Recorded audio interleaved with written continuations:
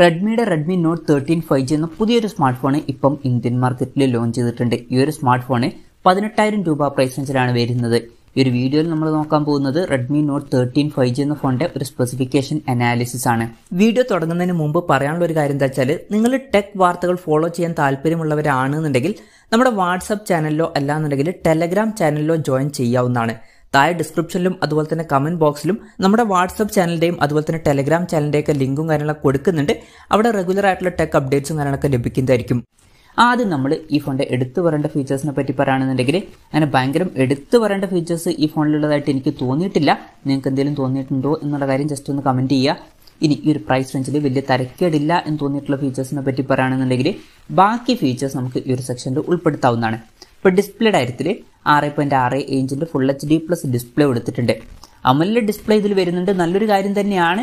പിന്നെ ഈ ഒരു പ്രൈസ് റേഞ്ചിൽ ചില ഫൈവ് ജി ഫോണുകളിലൊക്കെ നമുക്ക് ഓൾറെഡി അമലിലെ ഡിസ്പ്ലേ കിട്ടുന്നുണ്ട്. അതുകൊണ്ടാണ് നമ്മൾ ഇത് എടുത്തു പറയേണ്ട ഫീച്ചേഴ്സിൽ ഉൾപ്പെടുത്താത്തത്. പിന്നെ ശ്രദ്ധിക്കേണ്ട ഒരു കാര്യം എന്താ വെച്ചാൽ ചില ഫൈവ് ജി ഫോണുകളിൽ ഈ ഒരു പ്രൈസ് റേഞ്ചിൽ ഇപ്പോഴും അമലിലെ ഡിസ്പ്ലേ വരുന്നില്ല. അപ്പം അമലിലെ ഡിസ്പ്ലേ വരുന്നു എന്നുള്ളത് നല്ലൊരു കാര്യം തന്നെയാണ്. നമ്മൾ എടുത്തു പറയേണ്ട ഫീച്ചേഴ്സിൽ ഉൾപ്പെടുത്തിയിട്ടില്ല എന്നുണ്ടെങ്കിലും. പിന്നെ പഞ്ചോൾ ഡിസൈൻ ഇതിൽ വരുന്നുണ്ട്. പഞ്ചോൾ വരുന്ന ടോപ്പ് സെന്റർ ഭാഗത്തായിട്ടാണ്. ഡിസ്പ്ലേയിൽ നൂറ്റി ഇരുപത് ഹേർട്സിന്റെ റിഫ്രഷ് റേറ്റ് ഒക്കെ സപ്പോർട്ട് ചെയ്യുന്നുണ്ട്. ഇരുന്നൂറ്റി നാൽപ്പത് ഹേർട്സിന്റെ ടച്ച് സാമ്പിളിംഗ് റേറ്റും ഇതിൽ വരുന്നുണ്ട്. ഏകദേശം തൊണ്ണൂറ്റി മൂന്ന് പോയിന്റ് മൂന്ന് ശതമാനത്തിന്റെ സ്ക്രീൻ ടു ബോഡി റേഷ്യോ ഇതിൽ കൊടുത്തിട്ടുണ്ട്. അപ്പം അത്യാവശ്യം ചെറിയ ബെസൽസും കാര്യങ്ങളൊക്കെയാണ് ഇതിൽ വരുന്നത്. പിന്നെ ആയിരത്തി തൊള്ളായിരത്തി ഇരുപത് ഹേർട്സിന്റെ പി ഡബ്ല്യു ഡിമ്മിംഗ് എന്നുള്ള ഫീച്ചർ കൊടുത്തിട്ടുണ്ട് ഫോണിന്റെ പീക്ക് ബ്രൈറ്റ്നസ് വരുന്നത് ആയിരം നെറ്റ്സ് ആണ്. അതുപോലെ തന്നെ ഫോണിന്റെ ഫ്രണ്ടിൽ ഗൊറില്ല ഗ്ലാസ് ഫൈവിന്റെ പ്രൊട്ടക്ഷൻ കൊടുത്തിട്ടുണ്ട്. അപ്പോൾ ഡിസ്പ്ലേ ഫീച്ചേഴ്സ് മൊത്തത്തിൽ നോക്കുകയാണെന്നുണ്ടെങ്കിൽ അത്യാവശ്യം നല്ല ഡിസ്പ്ലേ ഫീച്ചേഴ്സ് ആണ് എന്ന് തന്നെ പറയാവുന്നതാണ്. മികച്ച ഡിസ്പ്ലേ ഫീച്ചേഴ്സ് വരുന്നുണ്ട്. പിന്നെ സൈഡ് മൗണ്ടഡ് ഫിംഗർ സെൻസർ ആണ് ഇതിൽ കൊടുത്തിരിക്കുന്നത്. ഫോണിന്റെ വെയിറ്റ് വരുന്നത് നൂറ്റി എഴുപത്തി മൂന്ന് പോയിന്റ് അഞ്ച് ഗ്രാം ആണ്. വെയിറ്റ് അത്യാവശ്യം കുറവാണ്. തിക്നെസ് വരുന്നത് ഏഴ് പോയിന്റ് ആറ് എം എം ആണ്. I P fifty four rating ഇതിൽ സപ്പോർട്ട് ചെയ്യുന്നുണ്ട്. പിന്നെ ഈ ഫോണിന്റെ ആർട്ടിക് വൈറ്റ് അതുപോലെ തന്നെ പ്രിസം ഗോൾഡ് സ്റ്റെൽത്ത് ബ്ലാക്ക് എന്നീ കളർ വേരിയൻസ് ആണ് ഇപ്പം ഇന്ത്യൻ മാർക്കറ്റിൽ ലോഞ്ച് ചെയ്തിരിക്കുന്നത്. പ്രോസസറിന്റെ കാര്യത്തിലോട്ട് വരികയാണെന്നുണ്ടെങ്കിൽ MediaTek dimensity six zero eight zero എന്ന പ്രോസസ്സർ ഈ ഫോണിൽ കൊടുത്തിട്ടുണ്ട്. പതിനെട്ടായിരം രൂപ പ്രൈസ് റേഞ്ചിൽ ഇത് ഏറ്റവും ബെസ്റ്റ് ആയിട്ടുള്ള പ്രോസസ്സറാണ് എന്നൊന്നും പറയാൻ പറ്റില്ല. എന്നാലും ഈ ഒരു പ്രൈസ് റേഞ്ചിൽ വലിയ തരക്കേടില്ലാത്തൊരു പ്രോസസ്സർ എന്ന് പറയാം. അത്രേ ഉള്ളൂ.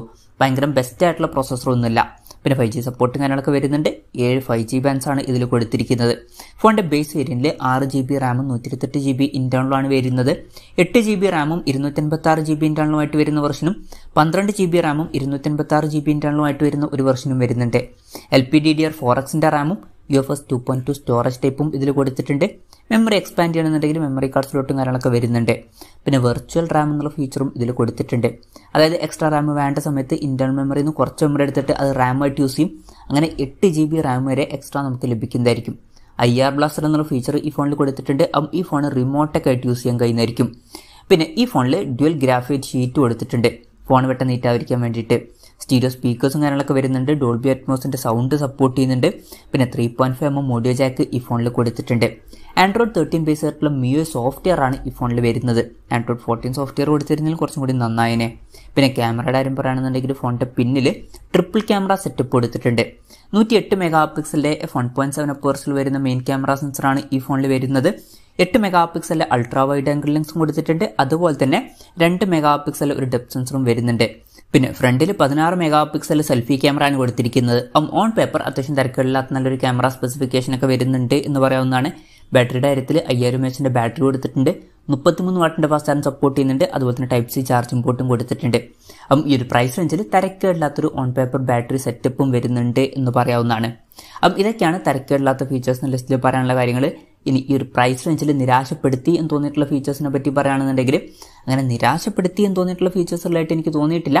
നിങ്ങൾക്ക് എന്തെങ്കിലും തോന്നിയിട്ടുണ്ടോ എന്നുള്ള കാര്യം ജസ്റ്റ് ഒന്ന് കമന്റ് ചെയ്യുക അപ്പം ഇതൊക്കെയാണ് മൊത്തത്തിൽ ഫീച്ചേഴ്സ് ഇനി വിലയുടെ കാര്യം പറയുകയാണെന്നുണ്ടെങ്കിൽ ആറ് ജി ബി റാം നൂറ്റി ഇരുപത്തെട്ട് ജി ബി ഇന്റേണൽ വെർഷന്റെ വില വരുന്നത് പതിനേഴായിരത്തി തൊള്ളായിരത്തി തൊണ്ണൂറ്റൊമ്പത് രൂപയാണ്. എട്ട് ജി ബി റാം ഇരുന്നൂറ്റൻപത്തി ആറ് ജി ബി ഇന്റേണൽ വെർഷന്റെ വില വരുന്നത് പത്തൊമ്പതിനായിരത്തി തൊള്ളായിരത്തി തൊണ്ണൂറ്റൊമ്പത് രൂപയാണ്. അതുപോലെ തന്നെ പന്ത്രണ്ട് ജി ബി റാം ഇരുന്നൂറ്റൻപത്തി ആറ് ജി ബി ഇന്റേണൽ വെർഷന്റെ വില വരുന്നത് ഇരുപത്തി ഒന്നായിരത്തി തൊള്ളായിരത്തി തൊണ്ണൂറ്റൊമ്പത് രൂപയാണ് ജനുവരി പത്ത് മുതലാണ് ഈ ഫോണിന്റെ സെയിലും കാര്യങ്ങളൊക്കെ സ്റ്റാർട്ട് ചെയ്യുന്നത്. എന്തായാലും ഓവറോൾ നോക്കുകയാണെന്നുണ്ടെങ്കിൽ ഈ ഒരു പ്രൈസ് റേഞ്ചിൽ ഈ ഫോണിൽ അങ്ങനെ ഭയങ്കരം എടുത്തു പറയേണ്ട ഫീച്ചേഴ്സ് ഉണ്ടോ എന്ന് വെച്ചാൽ അങ്ങനെ എടുത്തു പറയേണ്ട ഫീച്ചേഴ്സ് ഭയങ്കരമായിട്ടില്ല നല്ല ഡിസ്പ്ലേ ഫീച്ചേഴ്സ് വരുന്നുണ്ട്. അത്രേ ഉള്ളൂ. ബാക്കിയൊക്കെ ആവറേജ് ആയിട്ടുള്ള ഫീച്ചേഴ്സും കൊടുത്തിട്ടുണ്ട്. എന്നാൽ വളരെ മോശമാണെന്ന് വെച്ചാൽ അങ്ങനെ വളരെ മോശം എന്നും പറയാൻ പറ്റില്ല.